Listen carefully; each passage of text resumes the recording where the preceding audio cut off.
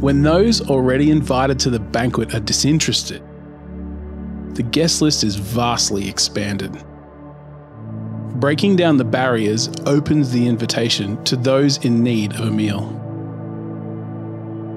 The guest list now consists of the poor and the disabled, those in the highways and hedges, the streets and lanes, the outcasts, beggars, and vagabonds. The kingdom is open to all who would come. In fact, the essence of the gospel invitation is to those who recognize that they are sick and broken and in need. Jesus tells us it is not the healthy who need a doctor, but the sick. I have not come to call the righteous, he said, but sinners to repentance.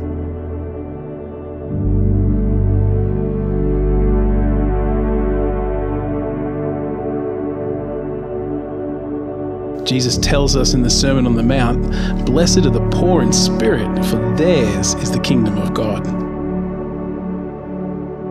It's when we see our need, our spiritual lack, that we can see the significance of Jesus' invitation.